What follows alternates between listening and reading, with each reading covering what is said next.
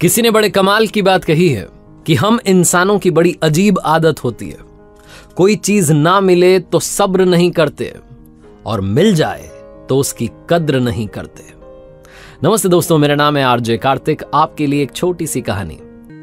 और ऐसी वीडियोस देखने के लिए सब्सक्राइब करें माई एफ़ का यूट्यूब चैनल और दबाएँ बेल आइकॉन एक बार एक बाबा जी गाँव में पहुँचे वहाँ एक परिवार ने उनकी बड़ी सेवा की आदर सत्कार किया। जब विदाई का समय आया तो परिवार के मुखिया ने हाथ जोड़ करके कहा कि बाबा जी हमारे पास में आपको देने के लिए कोई दक्षिणा में ज़्यादा बड़ी चीज़ नहीं है। तो हम चाहते हैं कि हमारी तरफ़ से बकरी आप स्वीकार लें। बाबा जी चक्कर में पड़ गए कि इस बकरी का क्या करूँगा। लेकिन परिवार का स्नेह इतना था, प्यार इतना था, कि बाबा जी ना नहीं कर पाए। उन्होंने कहा, ठीक है। अब वो उस बकरी को साथ लेकर के उस गाँव से निकल गए। यात्रा लंबी थी, चलते चले जा रहे थे।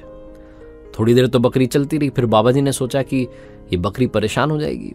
तो उसे उठाया और अपने कंधे पर बैठा लिया। बाबा जी मस्ती में चले जा रहे थे। उन्हें तो आदत थी लंबी यात्राएँ करने की। दूर पहाड़ी पर तीन ठग बैठे हुए थे।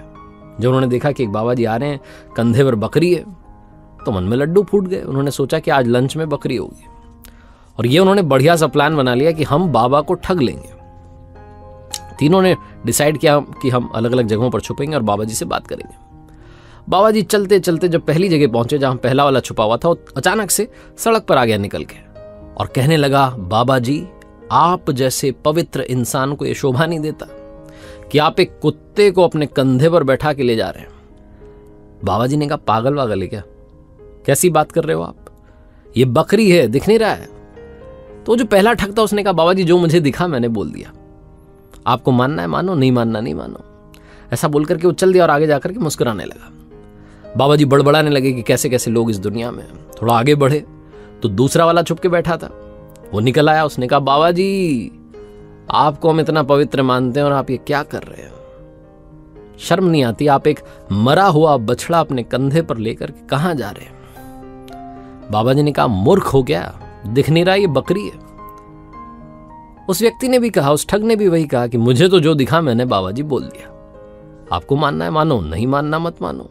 ऐसा बोलकर के आगे चला गया वो भी मुस्कुराने लगा। बाबा जी चलते रहे। तीसरा वाला छुप करके बैठा था, वो भी सड़क पर निकला। उसने कहा बाबा जी आपको प्रणाम करता हूँ, लेकिन ये क्या कर रहे हो? मैंने पहला इंसान देखा इस दुनिया में जो गधे को अपने कंधे पर लेकर के घूम रहा है। गधे को कोई कंधे पर बैठाता है क्या? बाबा जी का दिमाग ठनक गया कि क्या हो रहा है? पहला मिला, वो कह रहा था कि कुत्ता है, दूसरा कह रहा है मरा, वो बछड़ा है, तीसरा कह रहा है गधा है। ये मैंने क्या बैठा लिया? भूत वूत तो नहीं है।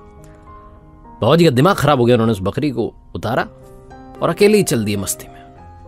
बकरी थोड़ी सी दूर गई थी और बेचारे तीनों ठगों ने उसको पकड़ लिया। कहानी तो खत्म हो गई।